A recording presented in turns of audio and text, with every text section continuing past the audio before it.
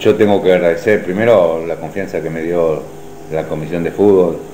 Hace tres años atrás, yo la recién un técnico recibido con cero experiencia, me ayudó para formarme, me ayudó para tener una identidad en el fútbol, para saber qué es lo que yo quiero de un equipo. Eh, y bueno, que de cierta manera me sirvió de una universidad como para estar al frente de un grupo y, saber lo que quiero de un, grupo.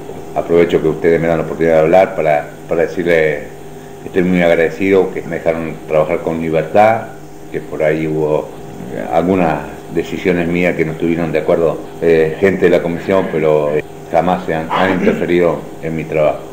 Gente que ha trabajado a pulmón, que, que ha dado todo por el club. Eh, si hay algo amargo que a uno le queda y que es que no pudo ser campeón con, este, con este grupo. Y me gustaría, sinceramente, que este grupo, sin mí, sea campeón. 2008, 2009, pero que sea campeón, porque se lo merece, porque es una camada que, no hay que dejarle pasar el tiempo y, hay que aprovechar. Ojalá este, ese logro se dé para este club que, que no está muy lejos de que se logre.